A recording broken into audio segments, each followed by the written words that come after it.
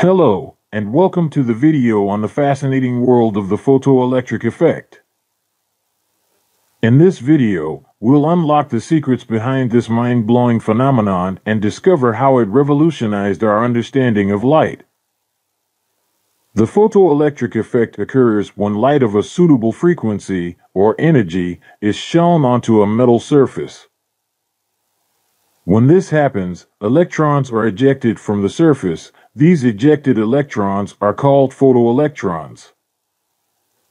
Modern physics suggests that light is made up of tiny particles called photons. They collide with electrons in the metal surface and transfer their energy to the electrons within the metal.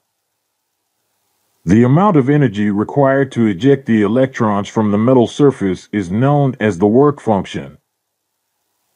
If the energy of the photons is sufficient to overcome the work function of the metal, electrons are ejected from the surface. To measure the photoelectric effect, we set up a circuit where the metal surface is connected to the negative terminal of a battery.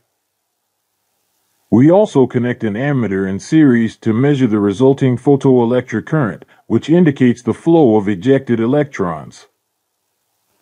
It's important to note that the photoelectric effect depends on two main factors, the frequency and intensity of the incident light. Frequency refers to the color of light, while intensity refers to its brightness or the number of photons per unit area per unit time. If the frequency of the incident light is below a certain value, no photoelectric effect occurs, even with high intensity light.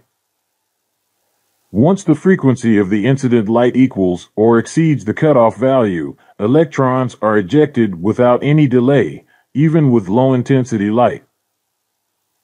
This specific frequency is known as the cutoff or threshold frequency, and its precise value varies depending on the type of material involved. Increasing the frequency of light increases the kinetic energy of the ejected electrons. Additionally, above the threshold frequency, increasing the intensity of light results in a higher number of ejected electrons or a greater photoelectric current. When an incident photon interacts with the metal surface, part of its energy is consumed as the work function, while the remaining energy appears as the kinetic energy of the ejected photoelectrons. By reversing the polarities of the applied voltage and increasing its value, we can determine the stopping potential. The stopping potential is the voltage at which the photoelectric current is completely stopped. The photoelectric effect provides strong experimental evidence for the particle nature of light.